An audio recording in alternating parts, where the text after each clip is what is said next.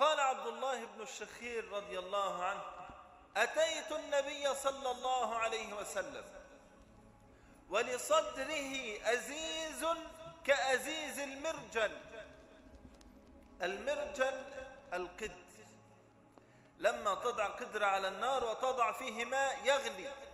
هذا الماء الذي يغلي له صوت. هكذا كان صوت النبي عليه الصلاة والسلام. كان يبكي من خشية الله وهو يصلي.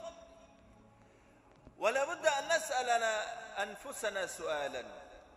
هل بكيت يوما وأنت تصلي؟ هل نبكي ونحن نصلي؟ بل هل نخشع لله ونحن نصلي؟ هل نستلذ بصلاتنا ونحن واقفون بين يدي الله عز وجل؟ كما كان هو حال رسول الله صلى الله عليه وسلم. النبي عليه الصلاة والسلام كان يقول يا بلال أقم الصلاة أرحنا بها. وحال لسان كثير منا يقول أرحنا منها. نريد أن نستريح يعني حتى هو يصلي لكن يستريح فيصلي. بعدما تفرغ الصلاة هو يستريح. لماذا؟ شال حملا من على رأسه. أدى فرض الله وخلاص أمن عقوبة الله. هذا ليس جيد أيضا. بل نريد أن نستريح فندخل في الصلاة. هكذا كان النبي عليه الصلاة والسلام. إن كثيرا من الناس يشكون الهموم والأحزان والبلايا تتراكم عليهم لأنهم لا يصلون. لو أنه محافظ على صلاته ليسر الله أمره. وأمر أهلك بالصلاة واصطبر عليها لا نسألك رزقا.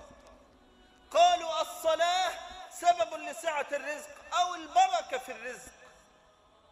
وممكن واحد معه مال كثير ولا يشعر فيه ببركة. وكل شيء إنما هو ببركة الله وتوفيقه. فالنبي عليه الصلاة والسلام كان إذا دخل في الصلاة خشع لله عز وجل. واستحضر عظمة الله وأنه واقف بين يدي الله عز وجل.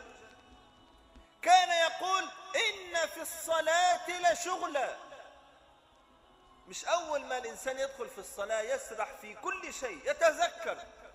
وهناك شيطان يأتي عند الصلاة فقط يوسوس لك. فلا بد أن تجاهد نفسك على المحافظة على الصلوات وأدائها في أوقاتها والخشوع فيها وإقامتها بإتقان الصلاة كما صلى النبي عليه الصلاة والسلام. صلي عليه عليه الصلاة والسلام.